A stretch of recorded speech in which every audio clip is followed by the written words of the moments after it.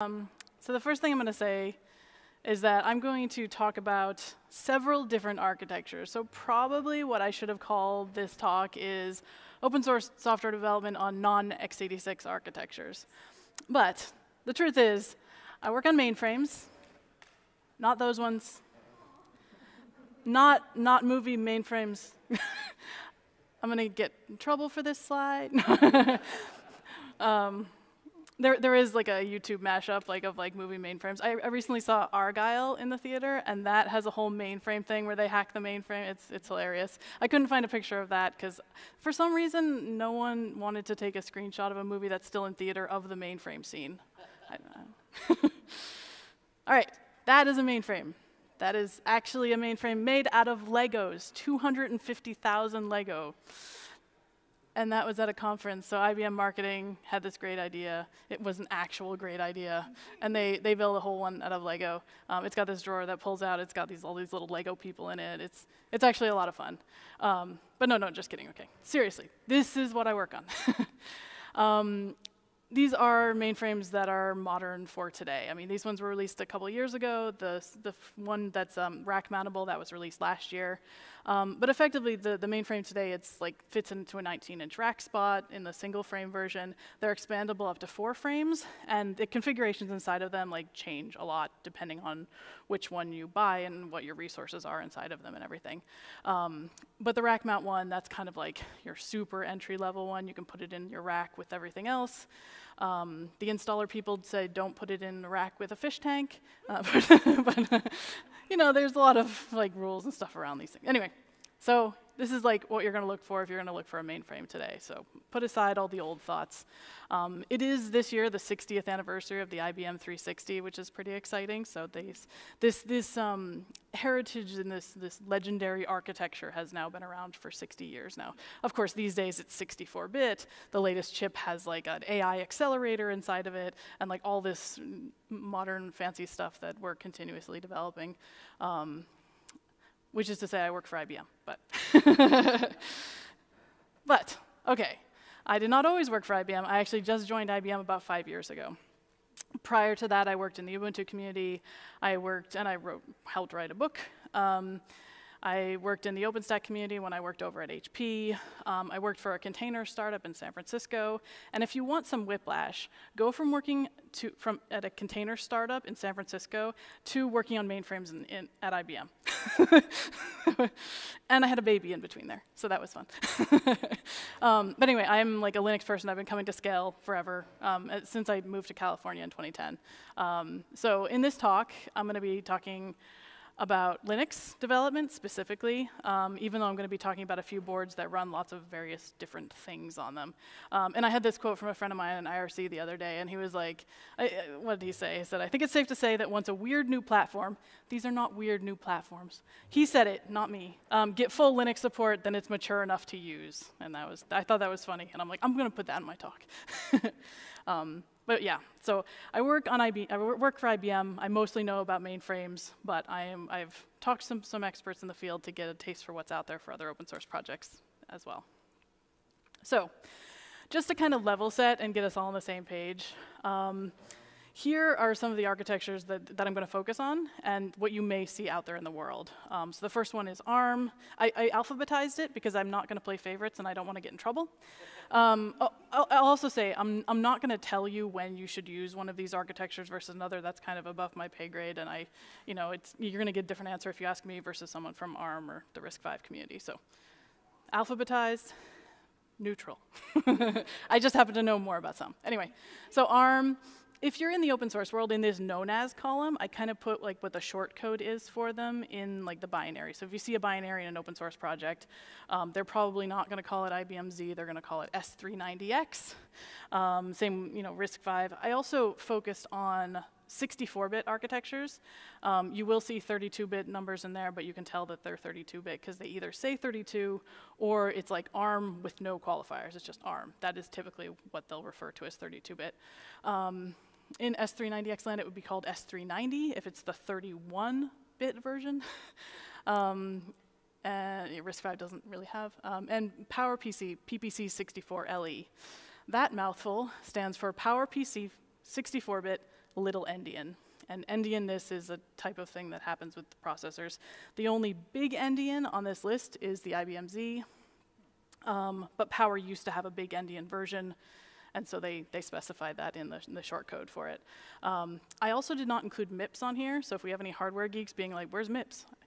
Honestly, there just aren't developer programs out there for that. That in, in when I ask my embedded friends, they're like, I haven't seen a MIPS processor in a little while. So I was like, when they're when they're more, they can be added to this talk later. But for now, I'm not covering MIPS. I'm just covering these four. Oh yeah. So I wanted to ask, who has used any of these before? What, what are we using? I'll throw out, just shout out some answers. ARM. All right, who has a Raspberry Pi? Who has more than two? That's what I thought. we have a lot of hands staying raised in this audience for the recording here. I, I, yeah. Um, so anyway, so and, and, and, what they're used for. So in the case of ARM and RISC-V, typically we're going to see these. They're going to see them in microcontrollers, embedded spaces, um, desktops, laptops. Um, you know, the new Apple laptops are, are running um, ARM ARM based processors. Um, servers, you know, Amazon now has, a, has an ARM offering in their cloud. I think Google does as well. Um, so these are popping up all over the place. Um, you know, our phones, these are all ARM.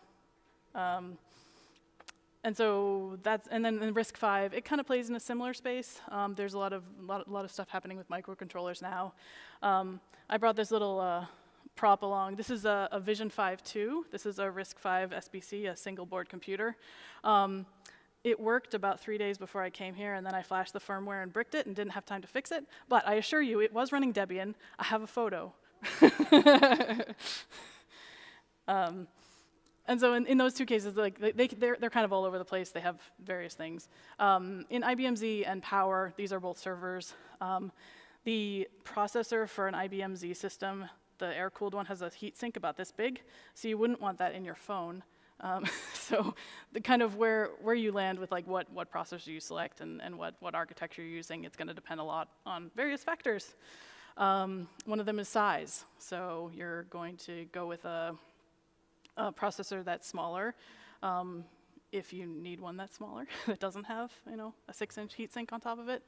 Um, other considerations, um, a big one is power. Um, of course, on, on something like a cell phone, you can't have something that draws a lot of power. At least it has to draw power in a very different way um, than something like a, um, an open power system or something. A few other things to keep in mind, um, how fast you want it to be. I mean, the processor in my phone is not as fast as a processor in a mainframe.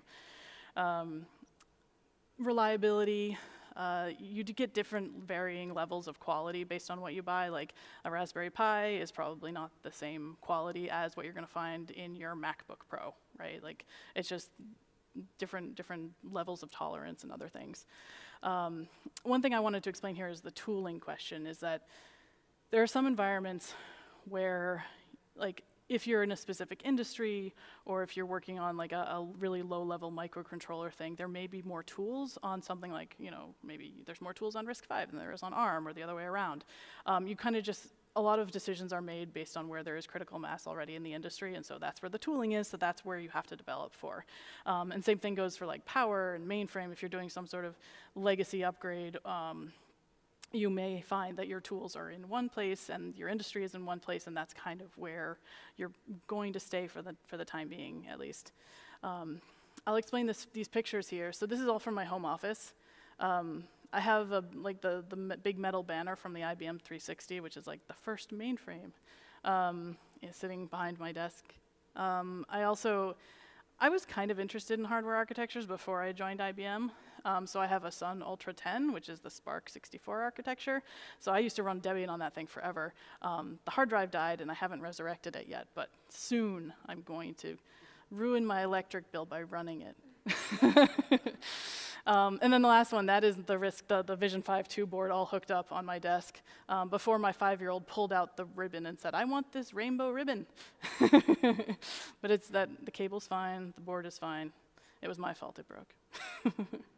So that's kind of like why these various hardware architectures exist. I mean, there's lots of different reasons.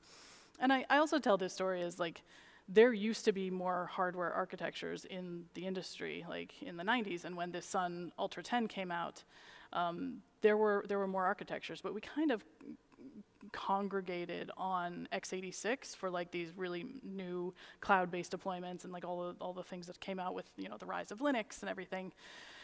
Um, because at some point, hardware got cheaper than anything else, and so it was easy to say like, hey, I can just fill my data center with cheap x86 boards um, that are basically open at this point, um, and I, if they die, I just replace them, which is cheaper than replacing something that might be more expensive um, or more complicated. But in recent years, all of these needs and priorities have become have come back. So now it is no longer cheaper to run a data center full of x86 machine, machines for every company because sometimes the power considerations are, are, are um, a problem, or sometimes they need a GPU farm, and maybe the x86 is not necessarily serving the need that it needed to. So there's been a lot of interest in and that's why companies like Google and Amazon have started looking into ARM and Apple, of course, for their laptops, to try to look at hardware architectures again and come back and say, like, we need to revisit this. Um, so, one of the first questions I had when I joined IBM to work on mainframes, which, which was an interesting question, because I had just worked on containers at a fancy startup, and then they're like, hey, you want to work at IBM on mainframes? And I'm like, I, I, I don't know. What's a mainframe? Uh, um, so my first question was like, okay, you say Linux runs on these things, but what does that mean? Like, Linux is made up of thousands of packages, and this is a different hardware architecture. You would have to recompile every single one of those packages to run Linux on it. And they're like, yeah, that's what we do. so Red Hat, SUSE, Canonical, they all have mainframes in their environment. And for all these architectures, all of the ones that support these various architectures, they all are building, usually for the Linux distribution specifically, they are building on bare metal. Um, and so they, you know, the, the one, they have power machines, they have ARM machines, they have RISC-V machines in their data center that they're running all these automated builds on, which I'll get to in a little bit. But that was, that was, I mean, obvious, but also somewhat surprising because that seems like a lot of work. so you may be thinking at this point, if you are a software maintainer, that okay, I'm here to learn how to port my software, but you're saying it's already there because it's already in the Linux distribution. I'm done. We can end this talk and go home. All right, that might be the case. However, there's a bunch of things you have to keep in mind. If your project is included in a Linux distribution already, um, first, it would have to be in a repository that they're actually building for the architecture. In most cases, this means like a main or a core or a supported repository because the distributions will put a lot of work into building for other architectures, but they're not going to build every single thing that every random community member has ever built um, and, and ported over. Um, or maybe they will. I mean, SUSE does a ton of builds for the community, so um, they're you know the, they want to, but like in terms of support and just anything breaks on an architecture, someone has to fix it.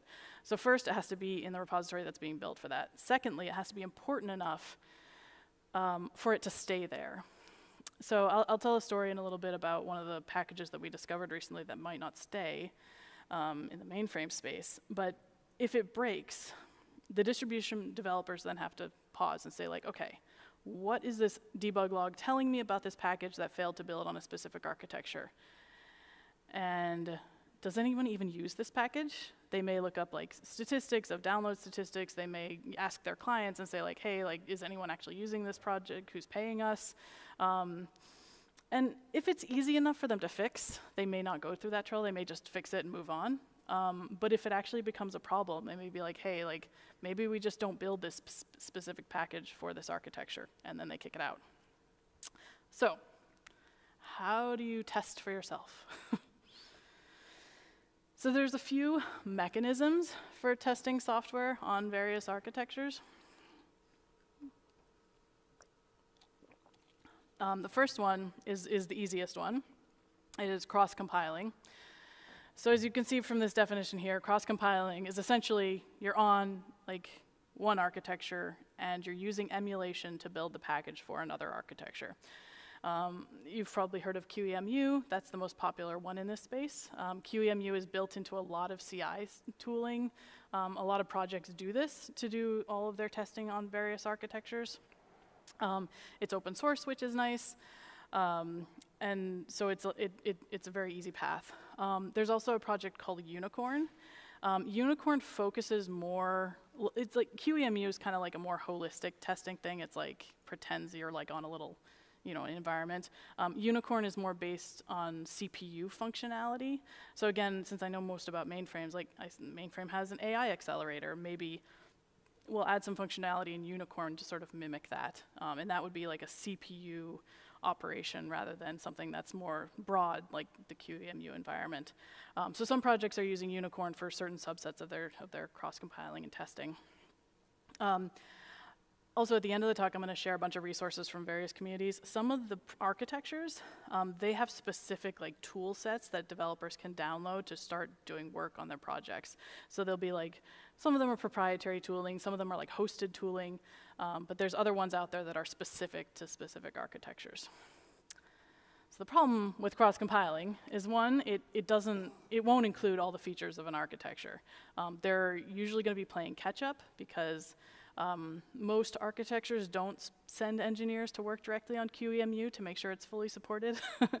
um, I mean, I know like my, my teams at IBM, like we definitely contribute to QEMU, but it's not going to have feature parity with, with the, um, the chip um, just because it's not super possible. um, so it's not going to have all the features. Um, it's not going to have a full environment. So like in, in the case of something like RISC-V, your boot environment is very important. Um, this thing boots off a little piece of firmware that I bricked right before I got here. and, but th that's just the firmware on this specific board. Um, like that's not something that's going to be in your QEMU testing environment. So you can test that the package will build once you have a running Linux environment, but you're not going to be able to test like the entire um, you know path to get that that booted Linux install. And if you're just testing your single application, maybe that doesn't matter. Um, but if your single application is systemd, um, maybe you're going to care a little bit more about that. And again, thing like interaction with the disk, interaction with network. If you're tooling has anything to do with this, and you have to do network tests, you have to do disk tests, um, that's not really going to be working well or um, effectively in an emulated environment. Um, and similarly, like uh, interoperability with peripheral devices. Um, this is important, especially in like the embedded space where maybe you have sensors or you have other things. But even, even the work that I do, I mean, there's tons of devices that connect to mainframes, and we're not going to test those in emulation. Um, and so you may not have access to that. You may not be able to test that. Finally, I say it may run slowly. It is going to run slowly. Emulation is very CPU intensive, um, and so whatever tests you're running, um, you may find that it's not running as quick as you want. So another option, if you're not going to cross-compile, you're going to do it natively. Okay, so depending on the architecture, you know, it may be like that single board computer. It may be like the Raspberry Pi or the Vision 5.2 I have over here.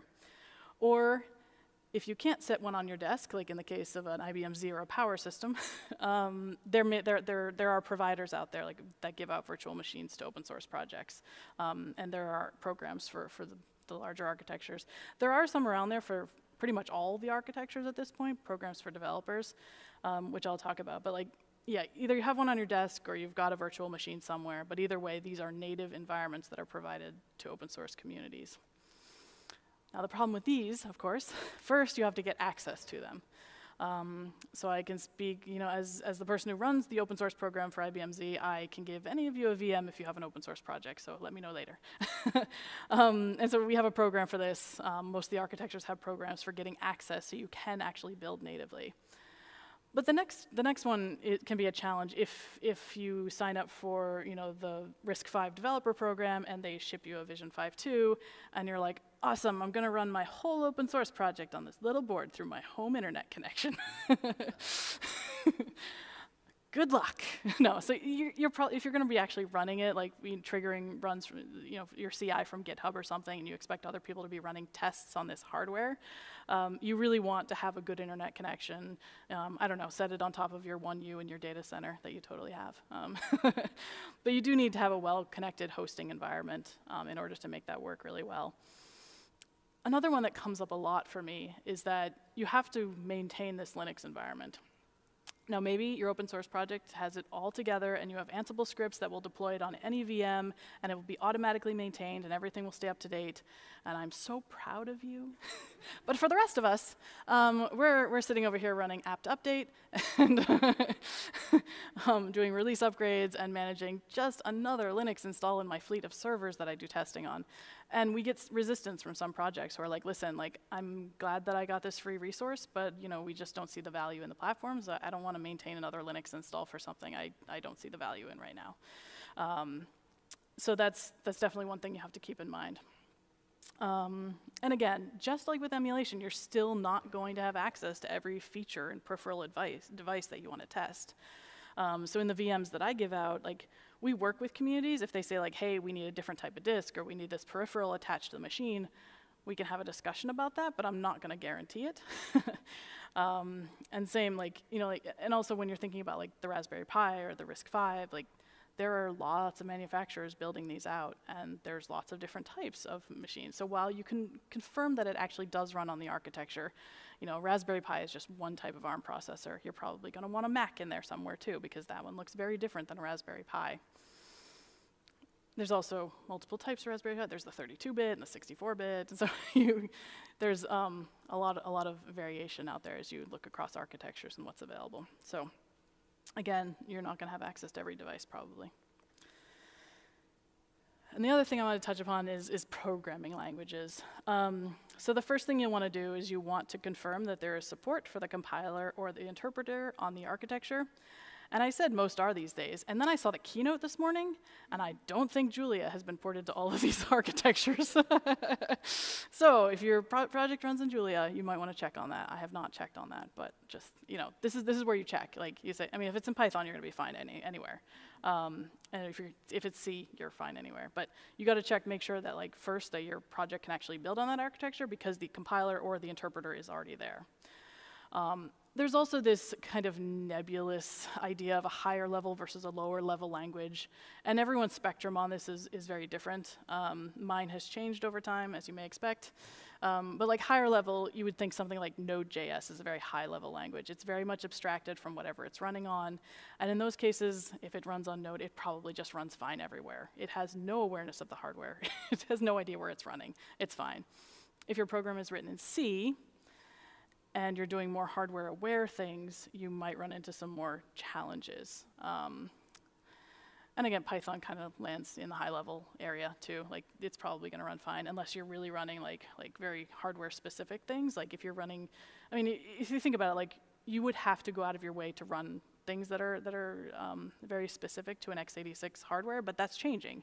I mean, AMD and Intel both have different things that are being built into their CPUs now that you can hook into. So you have to just check if you're doing any of that. And same with the other ones, like the, the mainframes, they have like on-chip compression and decompression. Like if you're using gzip on a mainframe, that goes directly to the hardware. The CPU is handling that. Um, and there's also a crypto card or crypto chip in there too. So if you're going directly to that, you have to just be aware that you're doing a hardware thing. And then when you port it, you have to keep that in mind. Um, uh, uh, someone uh, that I that I know on Mastodon also, like Colin, he was he just he chimed in too, and he he mentioned like you know, things like, you know, unsigned and signed integers. And I, I just want to say, like, numbers will mess you up too. um, if, you, if you see, like, a wall of numbers when you're, like, dealing with big endian or something, I'm like, yeah, I've been there too. It's scary, but it's, it's not that scary. Like, it's just scary at first. Um, but they will trip you up because also things like memory addressing and, like, things that you may have never encountered before if you've never worked on a different architecture are things that are going to start cropping up. Maybe. If you've written everything in Python, you're going to be fine be fine. so, I've kind of set the stage here, and now we are ready to take your open source project, and we're going to actually build, build your pipeline out here. So I put together this chart. I'm not going to go through every single thing on here because if you're using one, you're only interested in that one, so that'll be boring. But I will explain the slide a little bit. So these are on, on oh, way over there. Um, these are a bunch of um, uh, CI systems that I encounter frequently in the open source projects that I, I work with. I know there's lots of other CI systems out there. Um, there's lots of proprietary ones. There's, I mean, there's probably 100 CI systems out there that people use. um, but these are the ones I'm, I'm regularly encountering in, in the work that I do. Um, and then on the top, of course, the architectures. So when I say hosted, what I mean by that is that a, a company that is, that is sort of responsible for the CI system offers a hosted environment. So in the case of GitLab Community Edition, if you have an open source project and you want to test it on ARM, you can do it through like their web interface with like the free account that they give you. You can test on x86, you can test on ARM. When I say self-hosted, that means you have to download a binary of the runner and then run it on your own system. So that free VM we got you, or the you know Vision 5.2 that you have set up on your desk, you have to run the binary there.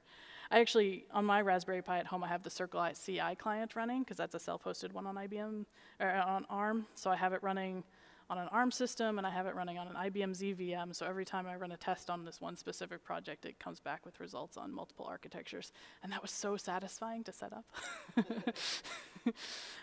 Um, the other one, there's um, one on here that says self-hosted unofficial, and in this case, um, GitHub Actions is open source, but GitHub has not accepted um, patches for IBM Z and Power. Um, so we have a patch that you can apply to GitHub Actions upstream, and then you can run it yourself. So it's like it's not from GitHub. I mean, the original source code is, but the source is from GitHub, the patch is from IBM and a partner, and then you run it again on your own VM.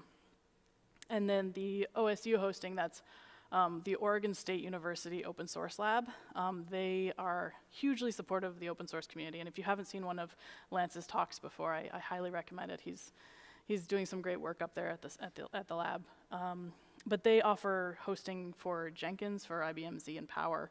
Um, so you can apply to their program, and they can give you some runners on, on their Jenkins instance, which will allow you to run, um, integrate with your, your Jenkins environment. Um, and I, I was sad that the RISC-V column is a little, a little empty, but RISC-V is rather, I mean, it's the newest, the newest kid on the block on this chart. um, so that's, eh, it's somewhat to be expected. And I left them blank because I, I, I know some of these really don't have any, even a self-hosted option, but I'll fill them in when they do, so we're good. And I stopped by the Jenkins booth to make sure that no one's offering an ARM-hosted solution. And as far as the guy at the booth knew, he said he doesn't know of anyone who's offering free to open source community ARM hosting. Um, but it's, it's just Jenkins. So if you, found, if you had an ARM server or whatever, you can just install Jenkins on it. So um, I should have put self-hosted in here, actually. Oops. OK.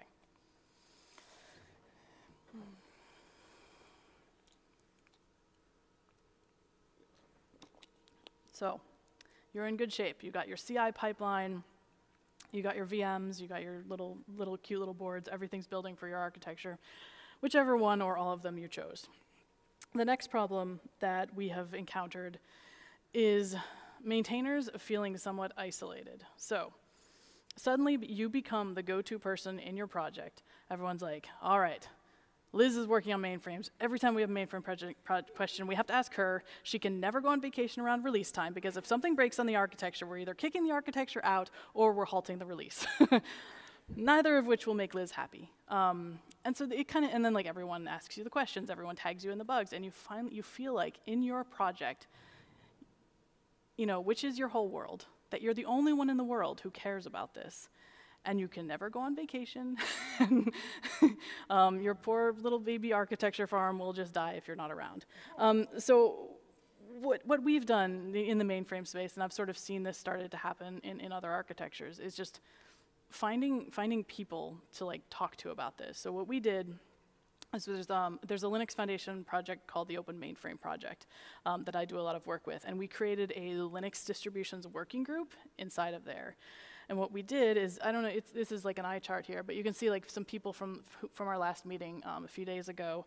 Um, there's someone from Debian. Um, there's someone from this Red Panda project. It's, it's just an open source project. Um, there's um, a woman there from SUSE. Um, someone from Rocky Linux, and then someone from o OpenSUSE, who all came to this meeting. And if you scroll down through the meetings, that's a pretty good characteristic. Actually, our Fedora guy wasn't at this last meeting. You know what? Daylight savings time messed it all up for the Europeans, so. But he's always there. I was surprised not to see him. Anyway, Fedora comes to these meetings too. But what this, what this allows is, for one, it allows us to solve problems together. We put this working group together because all of these distributions are building all of these tens of thousands of packages, and we see build errors. So my, my favorite story, perhaps, of this is there was a build error that Sarah found in OpenSUSE. And she had just found it like a few minutes before the meeting. We have like monthly meetings. And she hops on the meeting and she's like, ah, everything's good, except I just saw this build error. And uh, Dan from Fedora, he was like, actually, that looks very familiar. Just give me a sec. So he found the patch in Fedora that fixed the same exact problem in Fedora, and now OpenSUSE has the patch. And the reason I love this story is because, you know what, Sarah probably could have gone and found this patch. She would have. I mean, she probably would have checked Fedora's bug tracker and Debian's bug tracker to see if, if that had been a problem. But there's a lot of steps you go through when you're a distribution package maintainer, when you're looking at these. Because distribution package maintainers, they are responsible for tens of thousands of packages. they get very good at reading debug logs across a bunch of languages, but they aren't familiar with every single one of those pieces of software. So the thing was, in this case, to get these tests to pass and to test this piece of software correctly, the only thing she needed to do was pass a very specific flag. Do you know how long that would have taken for her to figure out?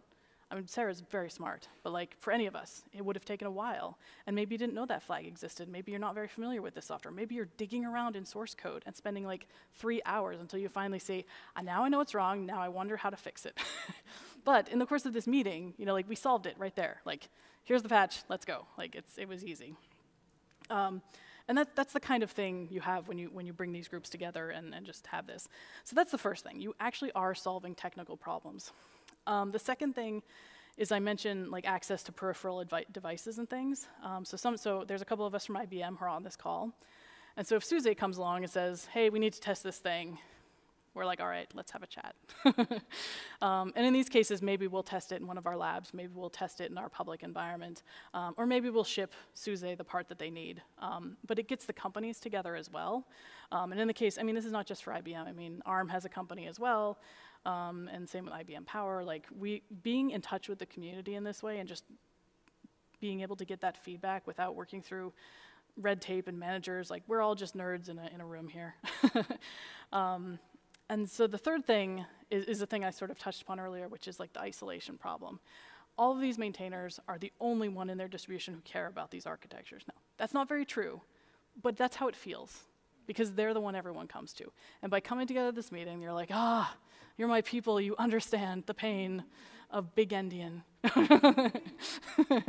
um, but just generally, like, just, it, it, makes them feel less lonely. And that is a huge thing. Um, so if you're an open source developer, maintainer, and you're playing around these architectures, um, find your people. I mean, maybe, maybe it's us at the working group. Um, in the ARM community, there's developer resources in the RISC-V community. But just reach out, be, be present on the forums as much as you can, or at least know that they exist and that there are other people working on this, and periodically remind yourself of that when you start getting, if, if you get frustrated. If you're running in Python, you'll never have any problems. So. all right, so, all right, we're doing excellent on time. So.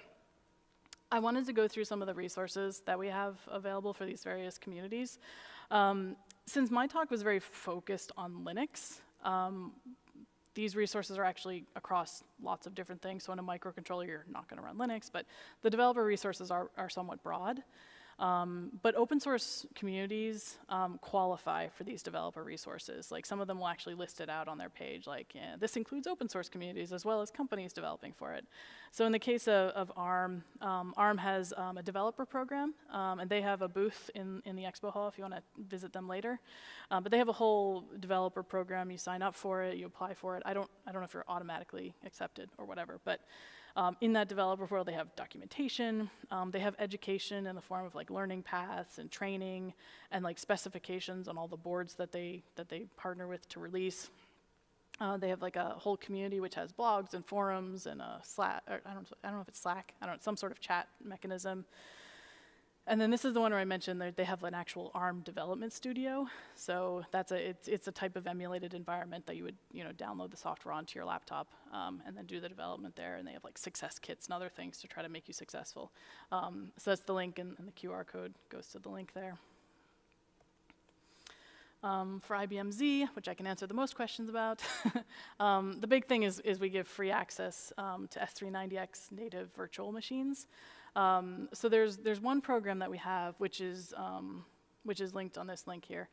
Um, it's, uh, anyone can sign up Um, we do some like fraud validation and stuff, and if you hit one of our fraud metrics, it bounces it to a person to manually approve it. But anyone can sign up for it, regardless of whether you're an open source developer or not. It's like specifically built for hobbyists and people curious about the platform.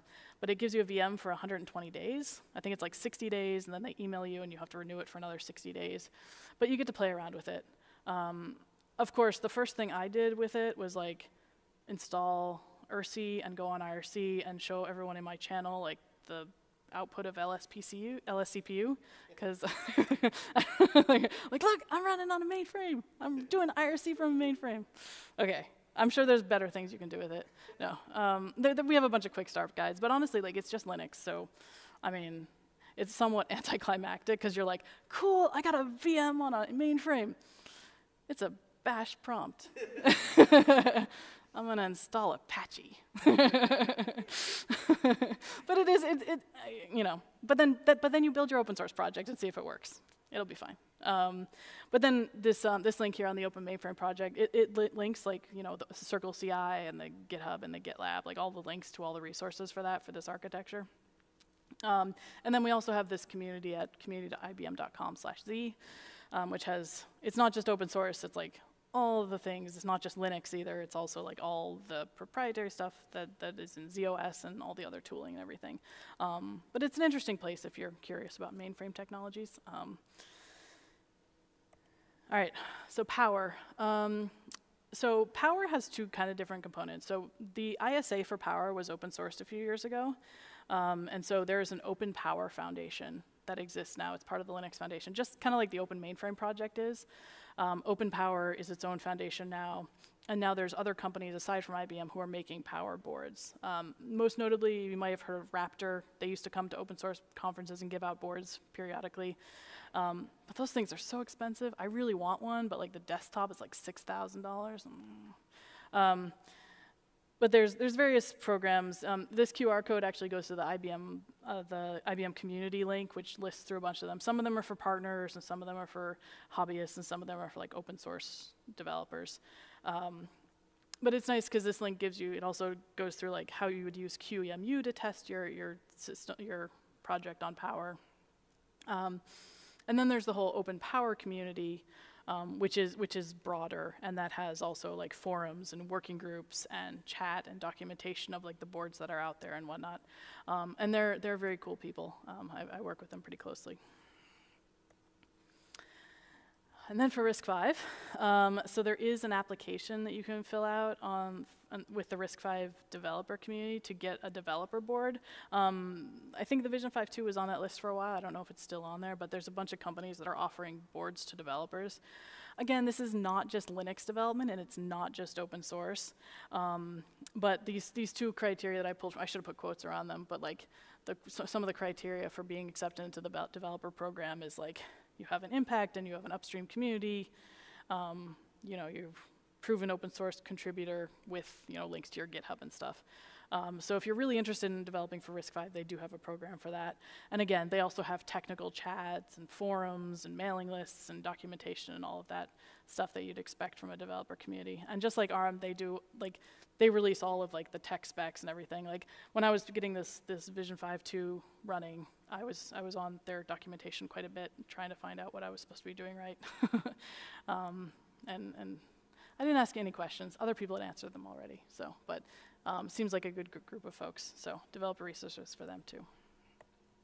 And this is where I come to my conclusion because I wanted to leave a bit of time for questions. Um, just special thanks to Michael, Linda, James, and Drew, all of whom I bothered a lot to get information about their particular pain points and their developer programs to make sure I wasn't missing anything. So, uh, yeah, questions? Or we can, yeah, yeah. All right. Could I get a round of applause? Thank you for that lovely presentation, Elizabeth. And do we have any audience members that have a question? If you do, please raise your hand and I'll come over with the microphone. Thank you, Mackenzie. Hi. Um, so I'm like super new to the um, sort of architecture porting realm.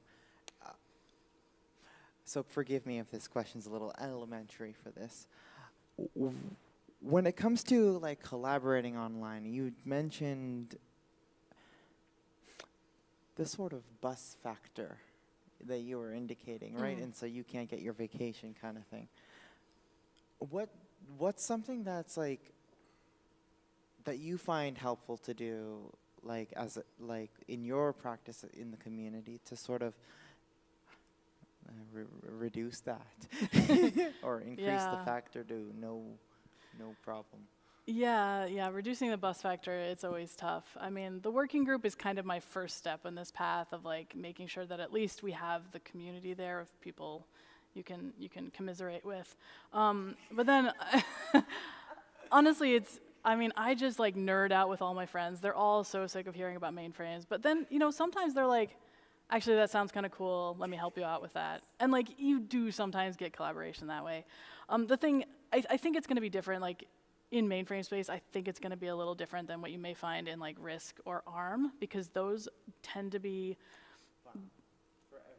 Everyone has access to them. I mean, this RISC V board cost me like 80 bucks, um, and that's I mean, yeah, like it's not nothing, but I mean, a mainframe starts at 100. Uh, yeah, I mean, we, we are like LinuxONE Express. We have a price on our website, and that price is $135,000. That's the cheap one.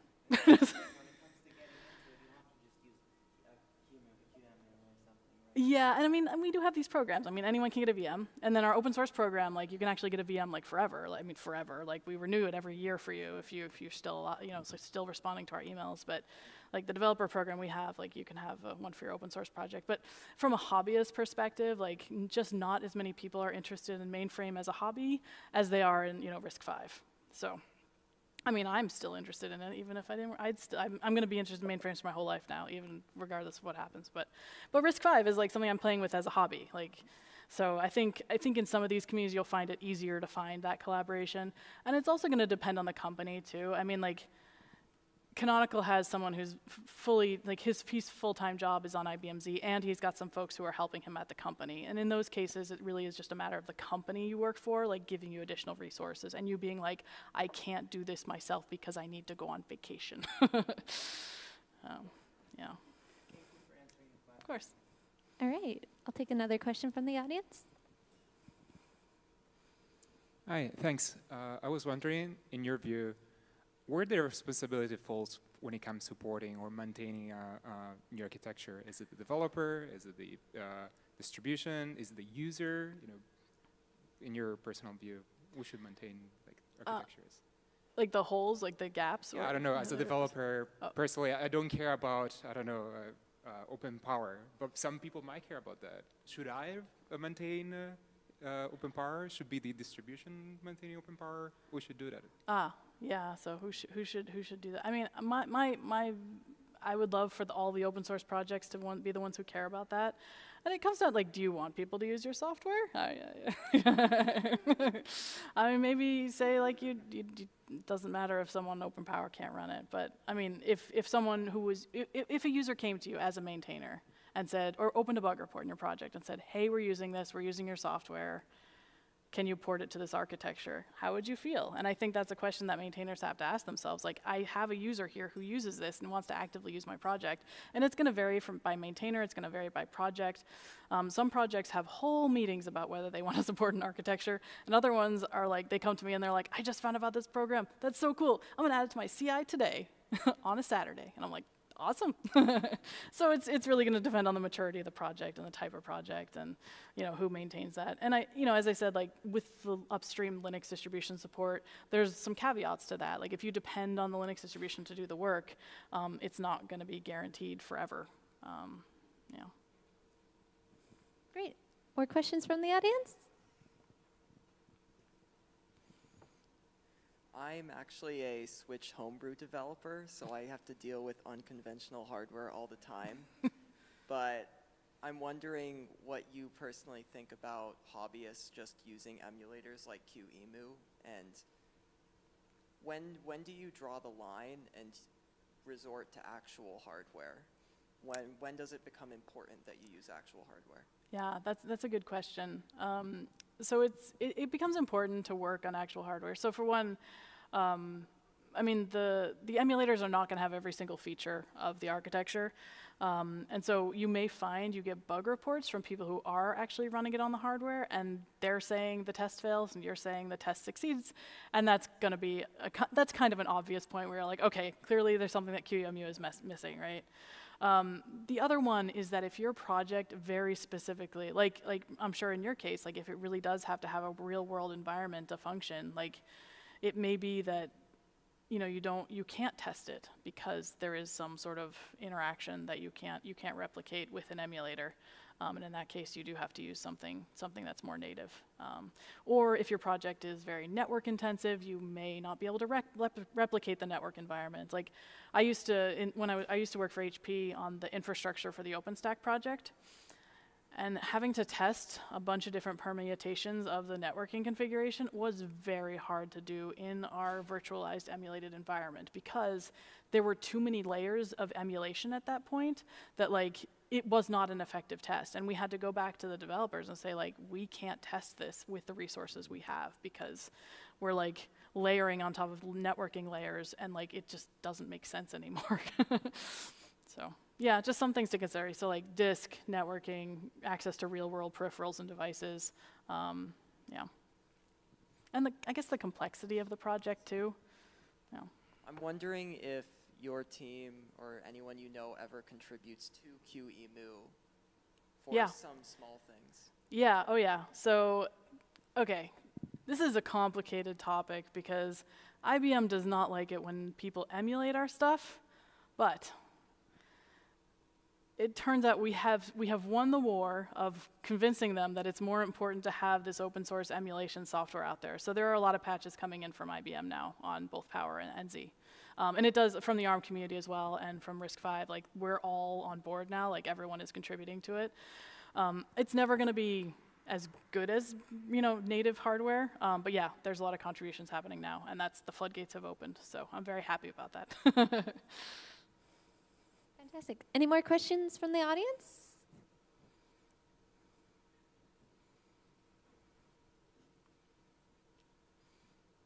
all right, I'm around all weekend, so if you find me in the hallway, I'm very shy, so please talk to me, and I'd be I'd be so excited to talk about mainframes or any of these topics, or show you the RISC-V board or whatever. It's fine.